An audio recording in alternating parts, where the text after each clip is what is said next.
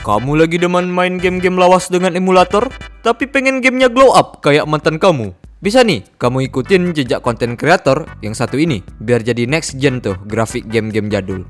Siapa tuh bang nama konten kreatornya? Kenal ini sama Gaming Memories. Beliau senang banget ngerombak game-game lawas seperti Silent Hill, Metal Gear Solid The Twin Snake, The Legend of Zelda Twilight Princess, dan juga game lawas lainnya yang akan diubah seperti game dengan grafis next gen cuy. Jadi gimana buat ngerombak gamenya ala Gaming Memories? Untuk ngerombak game-game ini, kita memerlukan emulator seperti Dolphin, PCS X2, dan emulator lainnya tergantung gamenya ada di platform mana. Dan kalian juga memerlukan plugin seperti Isiruka untuk emulator Dolphin buat naikin resolusinya beserta settingan grafisnya biar makin HD tuh. Kalau di PCS X2 nggak perlu plugin apa-apa ya.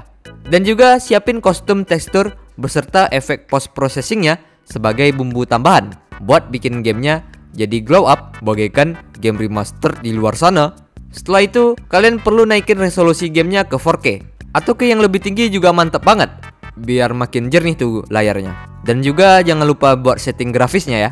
Terus pasang custom teksturnya, kalau bisa teksturnya 4K juga biar nggak pecah-pecah tuh grafiknya. Dan terakhir, kalian hanya perlu memasang efek post processingnya Biasanya udah disediain sama kreator custom teksturnya atau bisa kalian search aja di berbagai forum emulator atau gamenya cuy. Setelah itu, kalian udah bisa nih nikmatin gamenya dengan grafis yang jauh lebih bagus ketimbang versi originalnya.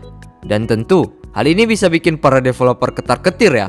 Udah capek-capek bikin versi remasternya, eh malah kalah dengan modifikasi fansnya sendiri. Gulung tikar aja lah. Kalau kalian pengen tutorial lengkapnya, bisa langsung ke halaman Instagramnya Gaming Memories ya